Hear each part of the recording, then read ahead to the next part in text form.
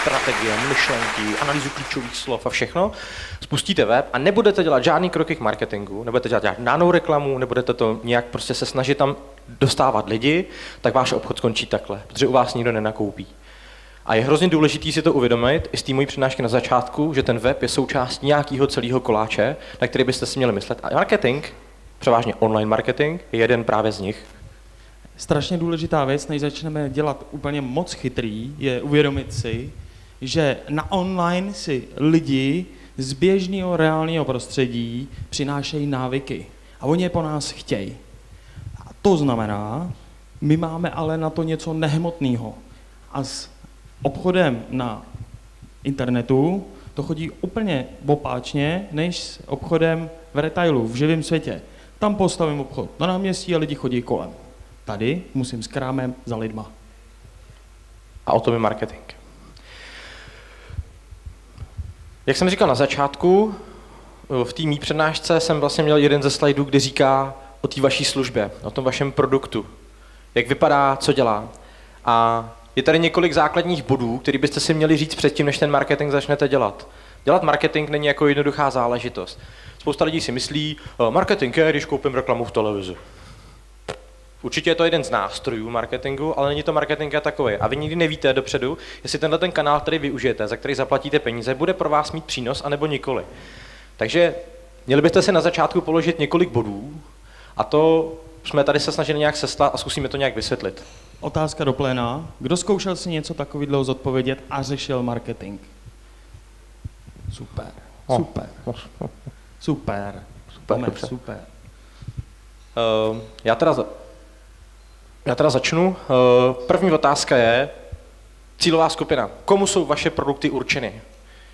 Jestliže, budete, jestliže budou vaše cílovka muži ve věku 20 až 50 let, který mají průměrný plat vyšší než, já nevím, 30 tisíc korun, tak vůči tomu musíte vyhledávat ty nástroje marketingové, kde se ty uživatelé pohybují. Jestliže vaše cílovka bude ředitel firmy, tak nemůžete mít reklamu na Facebooku. Ředitel firmy pravděpodobně na ten Facebook nechodí. A jestli jo, tak jako fakt rychle. Jestliže budete prodávat brýle pro ženy ve věku 13 a 16 let, tak se můžete vyprnout na všechno ostatní a koupit jenom reklamu na Facebooku a budete prodávat. Ten typický zákazník, o tom jsme si povídali, nebo o tom já jsem tady eh, chytračil už dopoledne. Prosím tě, přepni mi na další slide, já tam mám cílovou skupinu. To je moje cílová skupina, jsou dámy z Ukrajiny, tak, tak říkal Google, když jsem stával fotku. E, to je to, co jsem říkal na tom samém začátku. Ať dělám, co dělám, tak největší chybou všech je říct, prodám každému, kdo to koupí. To je blbost strašná, protože ta, to obecné směřování toho marketingu vás stojí prachy, úsilí, čas, všechno. Když si vytipuju a vyberu pro svoje produkty nebo pro svoje služby toho typického zákazníka a na něj všechno namodeluju, napíchnu, tak ty ostatní to možná koupí taky. A Jedno... to rozhodně spolehlivějíc víc. Jednoduchý příklad při tomhle to je, představte si, že budete mít firmu, kde budete chtít prodávat luxusní víno. Kolik bude stát luxusní víno? 500? Tisíc? 1500. 1500? Nejluxusnější vína, který se prodaje kolem 6 až 8 tisíc lahev. Takže vaše cílová skupina nejsou tyhle paní. A nemůžete jít tam, kde tyhle ty paní jsou. Musíte jít tam, kde jsou úplně jiná sorta lidí a používat úplně jiný kanály. Když se vrátím zpátky, uh, Kubo, to nechám asi na tobě, o tom víš asi možná víc ty. O čem? Jaká je průměrná cena objednávky?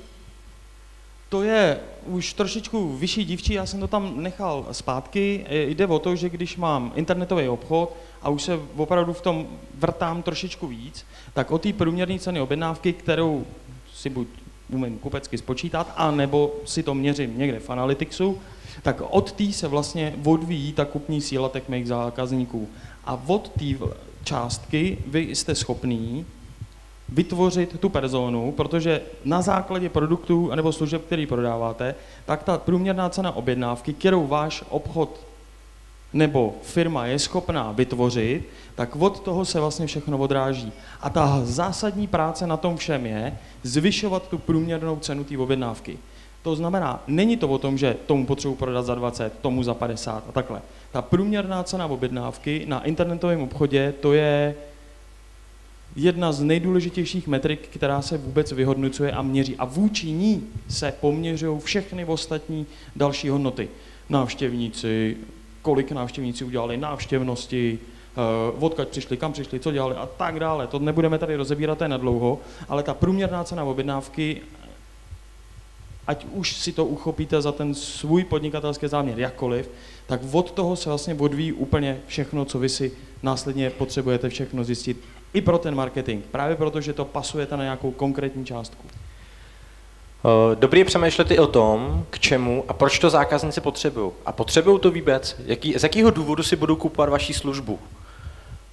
Mají dítě a potřebují vaše pleny?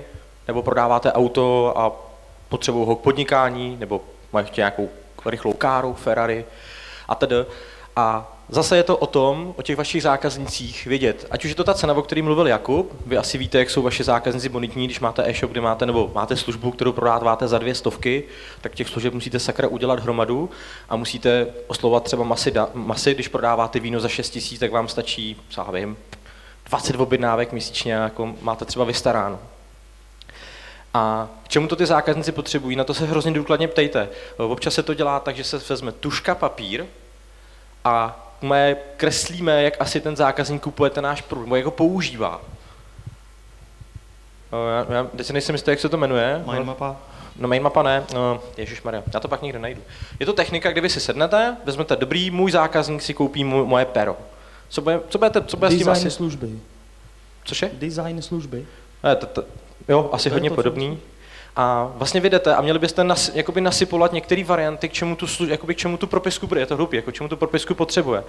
A měli byste znát jeho potřeby a ideálně v tom marketingu ty potřeby vytvářet. Takže budete kupovat boty na běhání, tak nebude váš marketing o tom, že budete běhat po ulici s krabicí a budete někomu ty boty prodávat. Váš marketing by měl o tom přesvědčovat ty lidi, aby běhali. To by mělo být jakoby, jedna z marketingových strategií v vozovkách. Nějakým způsobem říkat, pojďte běhat, protože budete nevím, zdraví, budete sportovní, odpočinete si u toho, uh, vypnete hlavu, až ty lidi si řeknou, já bych fakt chtěl začít běhat. To fakt se mi to líbí, protože to do nich bušíte, tak si řeknou, potřebuju ale boty. A v tu chvíli nastupujete vy a prodáváte jim ty boty. Tak, poslední bod je, já to vemu úplně za jiný konec. Eh, dělá se to opravdu i ve velkých agenturách a to, že se uměle vytvářejí bariéry, proč něco nekoupit. Proč by si to člověku mě neměl koupit? Eh, třeba měli jsme e-shop se, se spodním prádlem na internetu. Pro ženský chlapy mudrovali, jak ženským prodávat podprasenky na internetu. Šílená záležitost. A vymýšleli jsme to, proč oni si je vlastně u nás nemůžou koupit. Takže jsme si svolali focus group, 20 ženských do zasedačky a říkali nám, proč si u nás nekoupí spodní prádlo. Z toho jsme teprve pak byli schopni vytvořit marketing, protože jsme věděli, proč oni to u nás koupit nemůžou.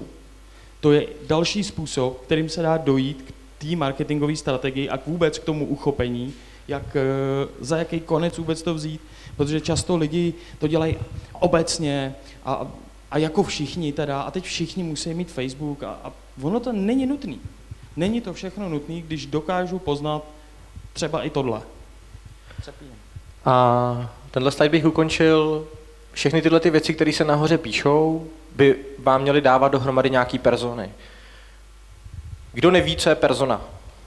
Nebojte se, ruce nahoru, já jsem to tak do pár let taky jsem to říkal dopoledne, ty jsi mě Ty jsi to říkal? Mm. Tak, tak dobrý, takže to ví všichni už, no, dobrý. Pro ty persony je potřeba připravit to, proč by k nám na web měli přijít. A to je tenhle ten strašně chytrý seznam. Nemyslím si, že je potřeba ho projíždět nějak detailně. Některé věci, například ičo, dičo, ty tam mít musíte, stejně jako musíte mít na provozovně označenou provozovnu, když máte, tak tam je taky ičo. Musí být i na webu, Čojka rozdávala pokuty za to, že nejsou iča na webu. Pozor na to. Uh, jinak, uh, co se týče těch obecných věcí, o tom jsem mluvil hodně já, a je to zase k vrácení těch informací, je to zase o tom obsahu toho webu, co ty lidi očekávají. Jestliže jim budete prodávat podprsenky, přijou na váš web, tak chtějí ty podprsenky vidět. Jestli tam mít nebude, tak tu podprsenku nekoupí. A bezvadně uh, přemýšlet i nad tím takovým tím, vždycky říkám, jakoby hrozně selským rozumem. Jako hrozně lidí chodí vytvářet prostě mraky analýz a strategií a teď za to platí spoustu peněz, chodí po marketingových školeních, ale málo kdo si dneska umí sednout s člověkem, přesně jako se to dělá v těch agenturách, kde si pozvou těch 20 ženských a teď ty ženský sypou ty nápady, proč jo, proč ne, co tam našli na tom webu, co nenašli, a že neviděli, a že ne, ne, nepochopili, jaký má rozměr, jaký košík nebo ty podprsenky, nebo co já vím, co tam je. A když se nad tím letím selsky rozumíte, pozvete si někoho, s někým si popovídáte, tak najednou zjistíte o nápadech, o kterých vás třeba jako prodejce, ať jste služby nebo produktu, vás třeba nikdy nenapadlo. A řeknete si, oh, no, ježišmarja, to jasný. A když vezmete tenhle ten slide, sednete si s tím člověkem a pojedete obecně taky jednoduše bod po bodu, tak si myslím, že dostanete poměrně hrozně rychle, hrozně snadno, hrozně levně, v úzovkách, někoho pozvete na kafe, obrovskou škálu informací, která vám může eh, dodat nějaké myšlenky na to, jak si marketingem jakoby obecně pracovat.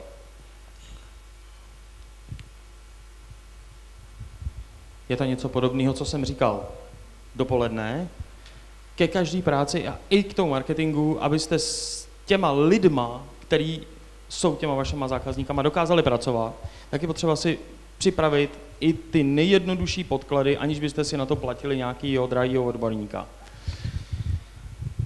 O analýze klíčových slov jsem mluvil dopoledne.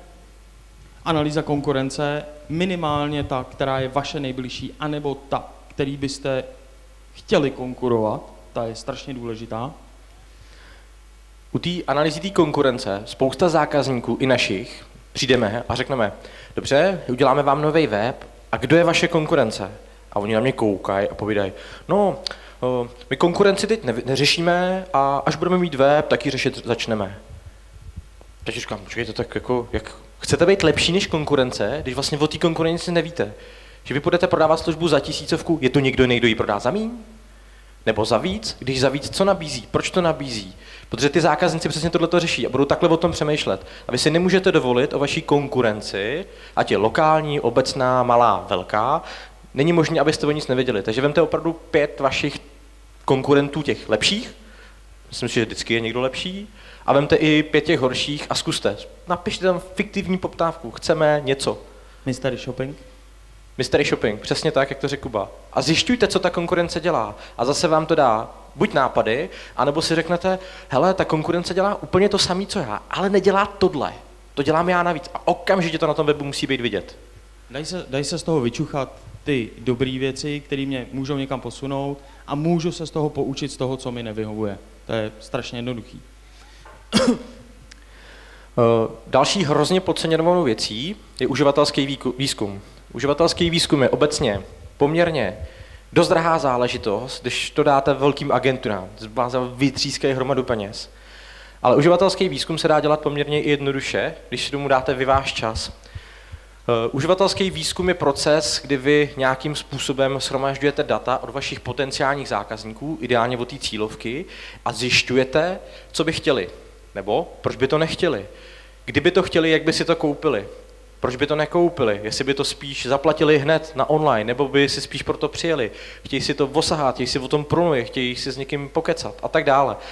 A ve chvíli, kdy vy budete vědět, jak vaši budoucí zákazníci přemýšlí, tak o to líp jim naservírujete tu službu, kterou jim chcete prodat, protože víte, co chtějí, protože budete vědět, co chtějí. U toho KPIčka, u těch eh, měřitelných cílů, můžeš mi tam prosím tě dát zase můj obrázek hezký? Proč to tam je? Protože u každého, jak my říkáme, zámyslu, když eh, vymýšlíme web, tak vždycky se z našeho zákazníka snažíme vytáhnout, proč ten web vůbec má existovat. Teďko nedávno jsme byli v jedné velikánské firmě, eh, která vůbec přes web nepotřebuje žádné objednávky, nepotřebuje žádné poptávky, nic. Oni, ta, ten web je jenom zrcadlem společnosti a nejdůležitější je stránka kontakty s mapou, s GPS souřadnicema, aby kamionáci věděli, kudy k ním ke skladu.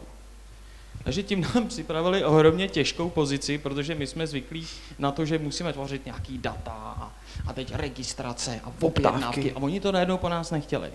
Takže my jsme strašně dlouho z lidí dolovali, proč oni ten web vůbec chtějí.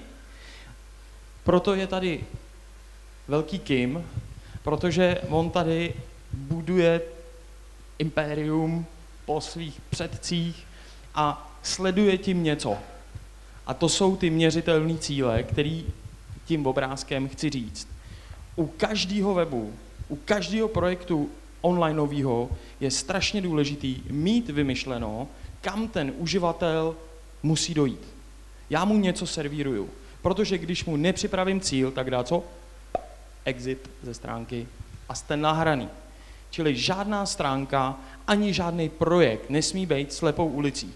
Pokud tam není něco, zavolejte nám, přijeďte k nám, cokoliv, tak tvoříte slepý uličky a ty uživatelé to rychle, mnohem rychleji opouštějí ty stránky i ten projekt. A zároveň potom ty cíle lze nastavit v Google Analytics a vůči nim, co potřebujete dosáhnout, vůči nim měříte výkon a provoz toho internetového projektu. To je hrozně důležitá věc a málo kdo to dělá. Byli jsme v jedné menší firmě a ptáme se jich, no dobře, kolik teď máte, jako jejich cíl byl poptávka, prostě. Byla to půjčovná dodávek, můžeme to říct asi nic stejného, a prostě cíl byl, objednejte si dodávku na určitý datum a určitý typ dodávky, malou, velkou, se sedačkama, bez sedačky, celé. A my jsme se jich ptali a povídáme, kolik máte poptávek z webu? To my nevíme.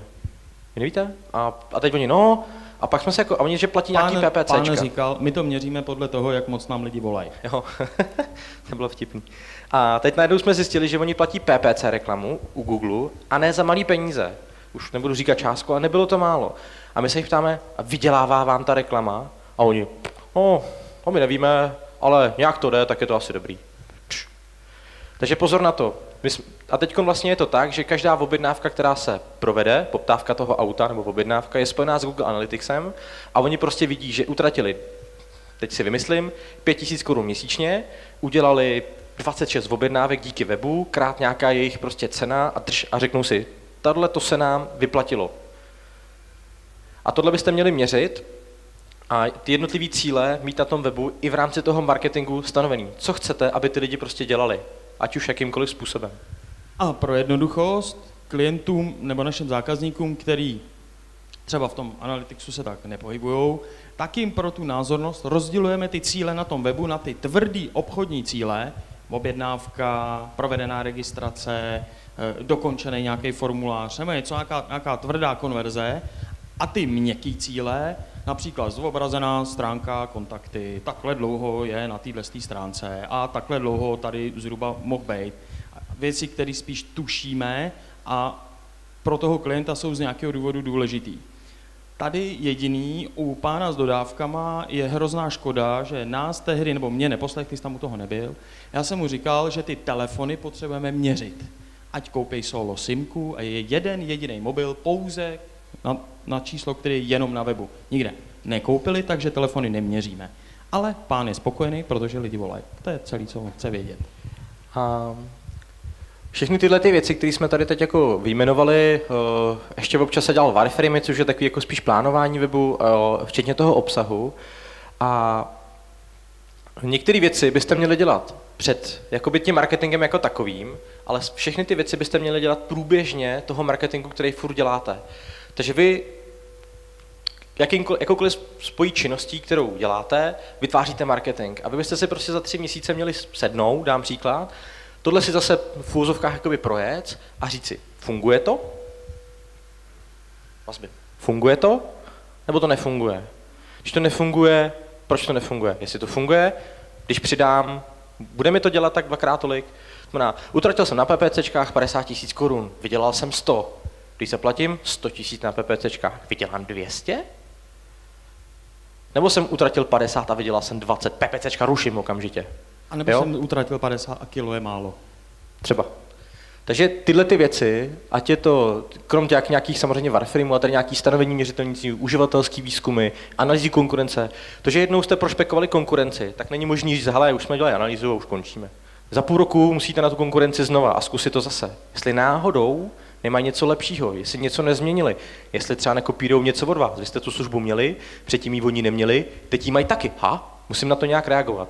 A tohle musíte dělat pořád. A jakmile jednou, si říkáme, usnete na Vavřínech, tak vás prostě přijde jiná konkurence, která to udělá před váma a začne vás v úvozovkách už řeknu hloupě válcovat. S tím, s tím kopírováním eh, je to, je to tak, že neberte to, že když od vás někdo kopíruje, jako že je to špatně. To, že od vás kopíruje, znamená, že to děláte dobře. To je ohromný. My jsme se o tom sami nedávno přesvědčili, kdy jsme se snažili poradit jedné firmě a ona místo toho, aby, aby si od nás objednala služby, tak ten náš web vlastně skopírovala i s nadpisama. A vůbec jim a to textama. není blbý. Včetně textu, bylo to Včetně vtipný. Eh, eh, Teď budeš mluvit dlouho. Teď budu mluvit asi hlavně. Znáte někdo, říká jsem také, jakoby, říkají tomu framework, opět já mám o frameworku asi jiný představit, ale asi jo. Znáte někdo See, Think, Do, Care, marketingový framework? Kdo znáte? Láďa se hlásí. Láďa se hlásí, jasný, super.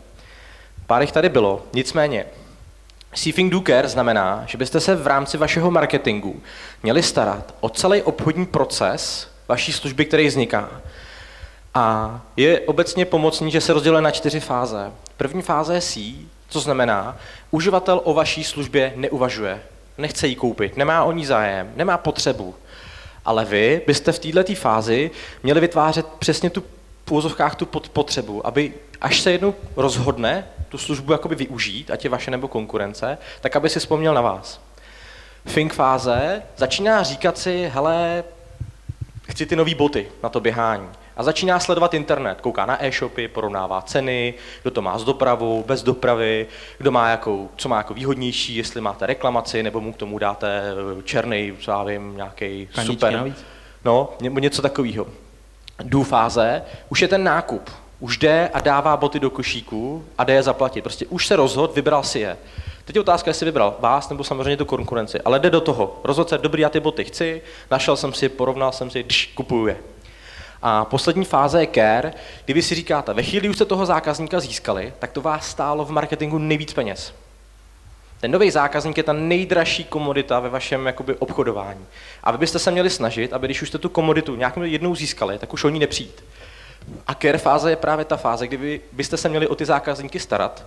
A nemyslím jako nějakým supportem, ale občas jim něco nabídnout, dát o sobě vědět, že máte akci, aby z toho furt udržovali v pozoru, že vy tam jste, furt pro něj, že to nebylo jako koupil jsem boty a už jako s váma nikdy. Ale že by chtěl koupit za měsíc ponožky, aby si řekl, hele, teď mi nedávno přišla akce, že mají 10%, tř, a jde a koupí u vás ty pitomý ponožky.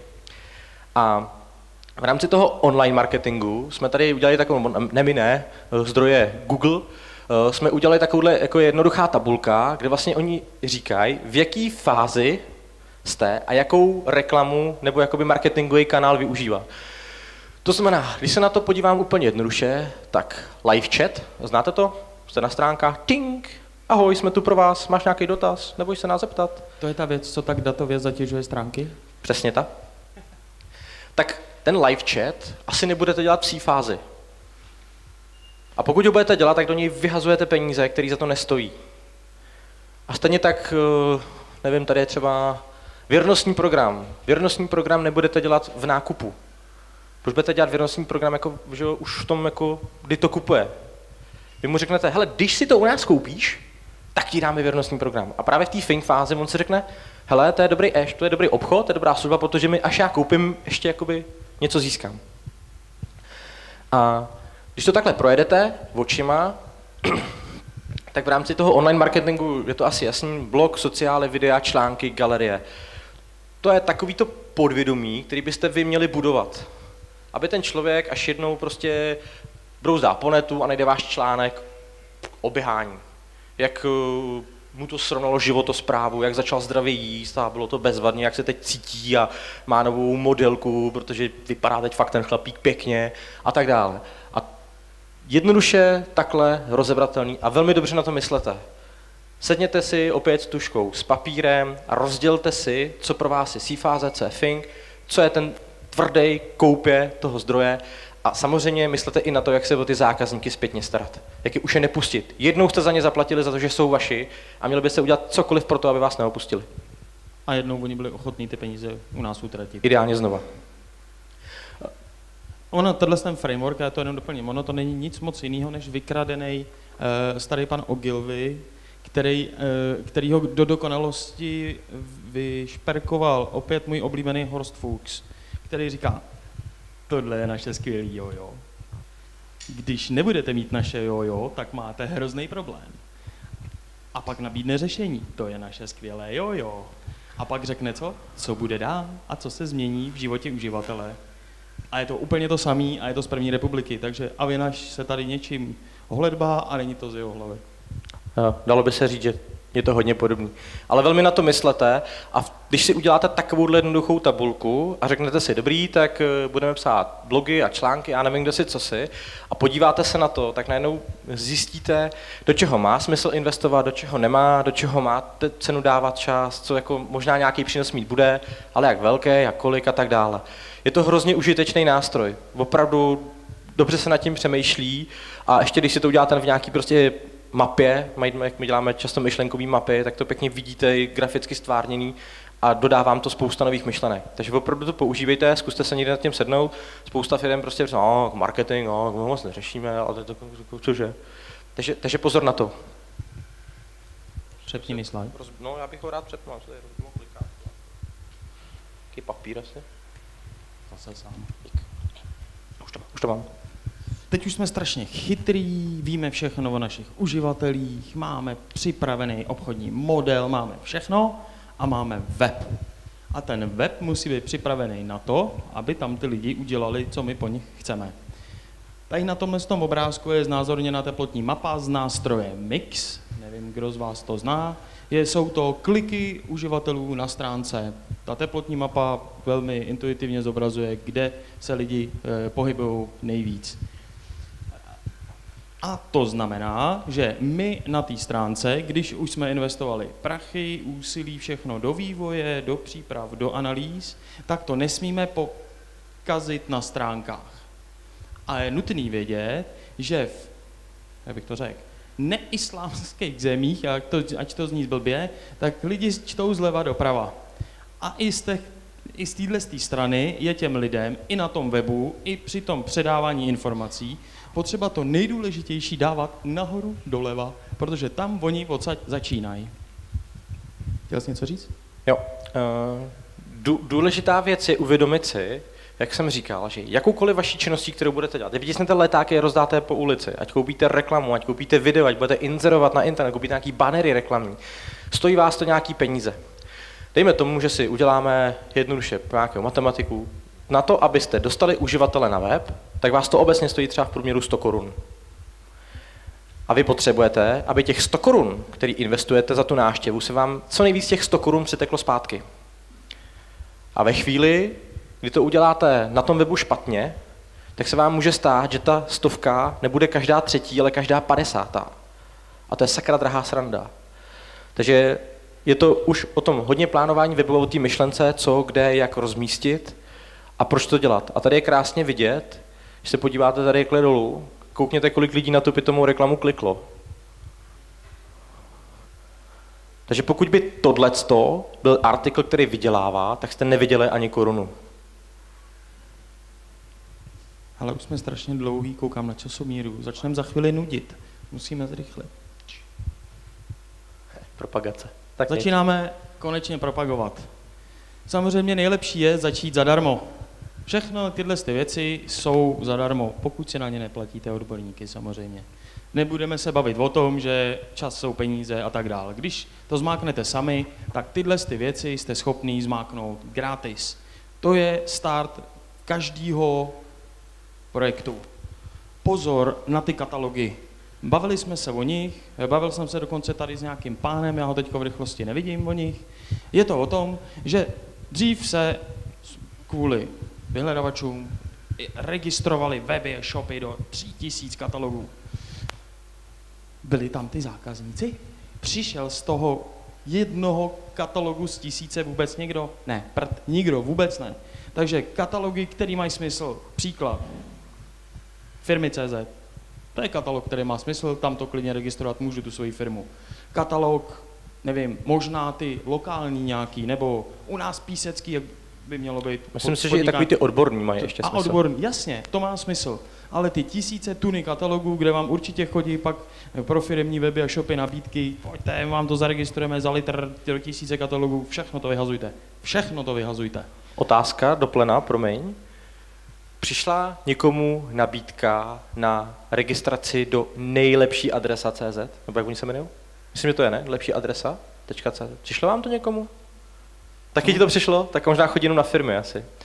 A nejlepší adresa CZ je katalog úplně o všem. Od kadeřnic, autosalon, úplně všechno. A to je přesně ten katalog, kam to vůbec nemá žádný smysl.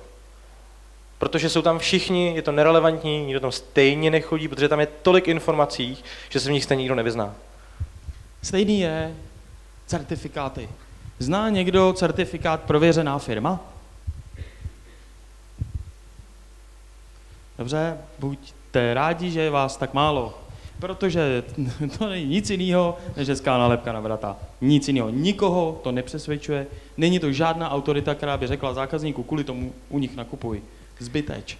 Uh, co se týče těch, v ostatní věci jsou to vyhledávače a jsou to sociální sítě, certifikáty, diskuzní fóra. Má smysl to dělat? Myslím si, že jo, když to budete dělat dobře. Pokud budete na sociální sítě dávat věci, jako dělá náš klient, nejlepší do, nebo dodávky, který tam dá, koupili jsme novou dodávku, 6 měsíců ticho, koupili jsme další dodávku, 3 měsíce ticho, máme pro vás super novou dodávku, no tak jako sociální sítě nedělejte. Protože vás to bude stát, nebo oni toho moc času nedělá, ale vypadá to blbě a je to na prd. Uh, já to ještě rychle SEO. SEO se dá do nějaký míry dělat své pomoci. Začátky určitě. Stačí si najít pár návodů, přečíst pár článků, pár tutoriálů a rozhodně něco uděláte. Ne. Jo, to spíš školení. Dál, dál. Už jsme dál. Nechme to být, jo? My si tohle nerozumíme moc totiž. Tak, co se týče těch placených, tak těch je samozřejmě obrovské množství. Takže jsme tady vytáhli to, co si... Neobvyklejší. Nebo obvyklejší a i zároveň, co si myslíme, že je výdělečný, když se to zase dělá dobře. Jenom upozorním na PR články. Eh, určitě, když už někam platíte eh, články, tak spíš to má smysl vzít velký peníz a zaplatit to na Mladé frontě, než na pr.články.cz nebo zdarma články nebo něco. To určitě nedělejte. Dokonce toto vyhledávače potom vnímají jako velmi nekvalitní odkazy z webového spamu, takže pozor na to. Další. Tady to asi uvedu já, proč ten pravý sloupeček je škrtnutý. Tohle je, asi to znáte každý, to jsou placené reklamy, je to za klik, PPCčka, to znamená, eh, já když tady na to firmě kliknu, tak jsem jim třeba utratil klidně 60 korun, protože v některých oborech i mnohem víc jsou lidi, nevím, nebankovní půjčky, 200 korun za klik, není problém. Nemůže to nikomu konkurence vyklikat, protože to je jednou za 12 hodin na tu jednu hypinu. To jsem taky setkali. V Google odstranili tenhle ten levý sloupec, prostě protože chtěli mít kvalitnější vyhledávání, čili v Google nárůst cen jako hrom samozřejmě, protože všichni bojují o ty inzeráty, co jsou nad tím a co jsou, eh, co jsou dole. Další je, na, dalším slajdu je seznamácký PPCčka, známe to všichni, to jsou jedny, to je jedna z prvních placených věcí, která dokáže velmi rychle získat návštěvnost. Ovšem jsme zase u analýzy klíčových slov, abyste neutráceli za klíčové slova, který sice přivádí návštěvnost, ale nepřivádějí objednávky. Další. Remarketing. Ten já si chci hrozně užít. To je úžasná záležitost. Představte si dokonalá, dokonalá věc. Remarketing jsou reklamy, které se zobrazují lidem, kteří u vás už na webu byli. Proto teďko všichni mají, nebo by měli mít, kdo sbírají ty publika, sbírají elektronické stopy lidí, kteří zanechali na našich stránkách. K nám přijde člověk, nebo k našemu klientovi přijde člověk na stránky, my si ho označkujeme a pak ho klidně v idnesu pronásledujeme takovouhle reklamou, jako je tady MOL. Určitě, kdo zná remarketing? Výborně. To Výborně. jsem nečekal. Úžasná věc a já to miluju úplně, protože to je skvěle konverzní placená reklama. Koukal jsem, že tam máš něco. No to tam je schválně. Schválně se tam dal? OK. Můžeme dál? Remarketing. Už jsi, to, už jsi to užil? Užil jsem si to, já mám rád remarketing a PLA kampaně, který teďko, jestli se nepletu, pokud nemáte eh, zabezpečený HTTPS, pletu se, nepletu se, Mhm. objednávkový, objednávkový systém na shopu, tak vás to do toho, eh, do tohohle z toho, do těch PLA, PLA kampaní nepustí. Důl, jestli se teď nepletu já, ale PPL jsou pou, no, PLA, sorry, PPL. PLA jsou pouze pro shopy, pro věci, které fyzicky prodáváš jako produkt s cenou. Ano, Jo. ano, ano. A jsem se zeptat. To bude na tobě. Nebo já? Jo. Dobře. Uh, když už, ať už děláte propagace placený, nebo ty neplacený, je to úplně jedno. Bavili jsme se o tom těch slide, slajdů pár předtím. Kdo Měřte- používá Analytics? Kdo ho zná a umí to s ním? Já ne teda. Dobře, dobře. Já ne, já mám Kubu.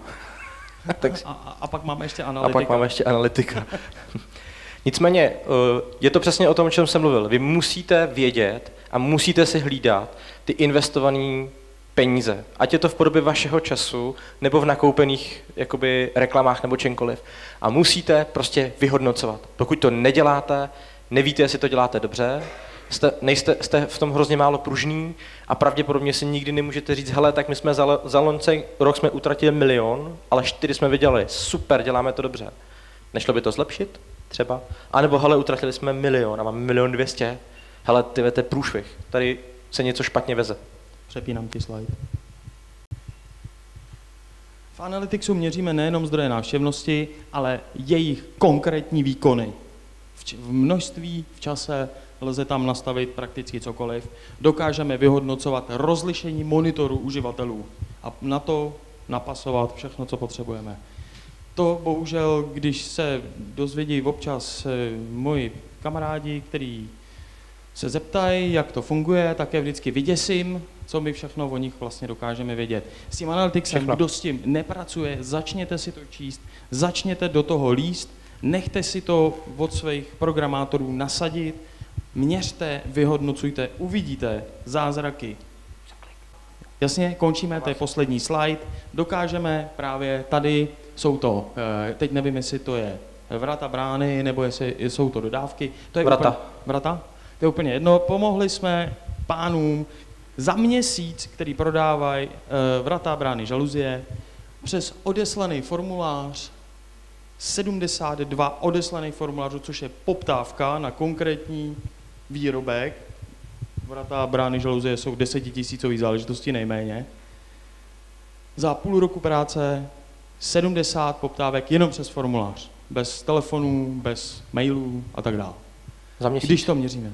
Za měsíc. Já myslím, že za půl roku práce. Ne, ne, ne. Eh, Půl roku nám trvalo, než jsme dosáhli takovýhle čísel. Takhle. Takže to se tam dá měřit. No, a to je všechno. Kostce. Děkujeme. Ale ono nám to docela, ono nám to docela šlo. Viď?